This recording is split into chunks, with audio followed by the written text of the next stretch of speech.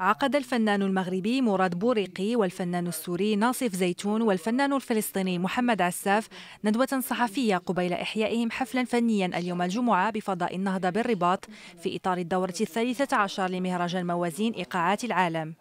بالنسبة للمشاركة ديالي هي كما قلت في المؤتمر الصحفي حلم حلم وتحقق لأنه من ضمن أحلام أي فنان أنه يشارك في مهرجان عالمي بحال مهرجان الموازين. ثاني آه شيء هو يعني آه أنا فرحان بزاف وأكيد كنحس بالفخر. أنني كنمثل اولا الفنانين المغاربة في افتتاح مهرجان كبير الدورة 13 من مهرجان الموازين. ثاني ثالث شيء أنني فرحان وبزاف وبزاف لأنه غادي نوقف. أمام جمهور جميل رائع أحلى جمهور في العالم الجمهور المغربي. مهرجان موازين مهرجان كثير رائع الجمهور المغربي بجنن وكثير رائع. إيه، راح راح الأغاني أنا اللي راح أغنيها أكيد يعني راح أغني أغاني متنوعة أغاني خاصة في وأغاني أخرى إيه، إن شاء الله. إيه، وراح أغني مغربي. أنا بتشرف إني أنا أول مرة بمملكة المغرب الشقيقة.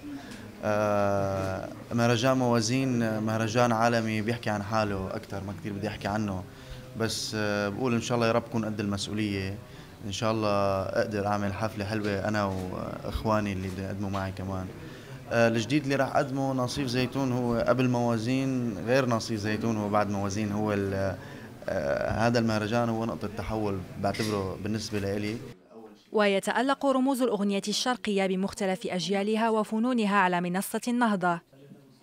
ويذكر أن مهرجان موازين يستقبل هذا العام أزيد من 35 حفلا في منصتي سلا والنهضة وقاعة لا رونيسانس يحييها فنانون مغاربة في ألوان مختلفة تراثية وعصرية.